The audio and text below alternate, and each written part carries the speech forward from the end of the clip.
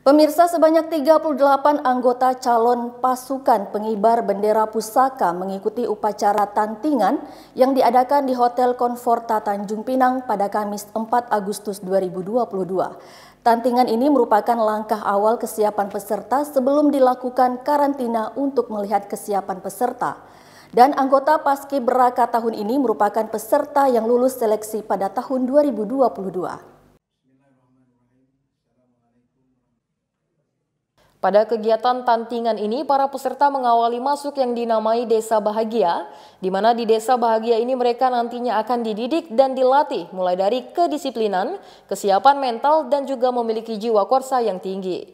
Pelaksanaan upacara HUT Republik Indonesia tahun ini atas izin dari pemerintah pusat. Sebanyak 38 calon peserta Paskibraka ini nantinya akan bertugas pada upacara pengibaran dan penurunan bendera saat upacara HUT Republik Indonesia yang akan dilaksanakan pada 17 Agustus 2022 yang rencananya akan dilaksanakan di halaman gedung daerah Tanjung Pinang.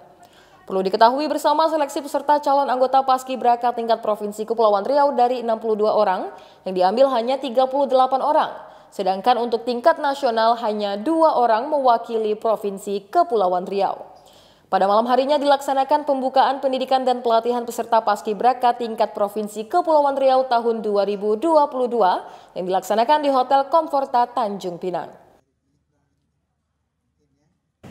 Paskibraka tidak hanya sekedar membawa bendera, tapi adalah sebuah semangat tahun 2022 saya nyatakan resmi dibuka.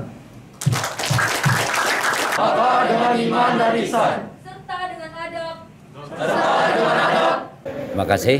Terkait dengan hari acara hari ini adalah pembukaan pelatihan Paskibra. Paskibraka untuk tahun 2022.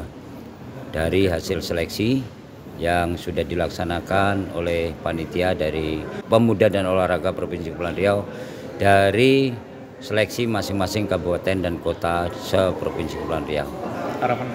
Harapannya adalah adik-adik kita benar-benar melaksanakan tugas dan kewajibannya sesuai dengan yang diamanahkan dan mereka adalah adik-adik terbaik yang nantinya juga akan sebagai penerus perjuangan bagi kita semua. Kegiatan dibuka secara langsung oleh Sekretaris Daerah Provinsi Kepulauan Riau Andi Prihantara. Hadir pada kegiatan ini Kepala Dinas Pemuda dan Olahraga Provinsi Kepulauan Riau M. Ihsan, para Kepala Dinas Pemuda dan Olahraga perwakilan Kabupaten Kota, pelatih, staf khusus gubernur dan 38 calon anggota Paskibraka Provinsi Kepulauan Riau.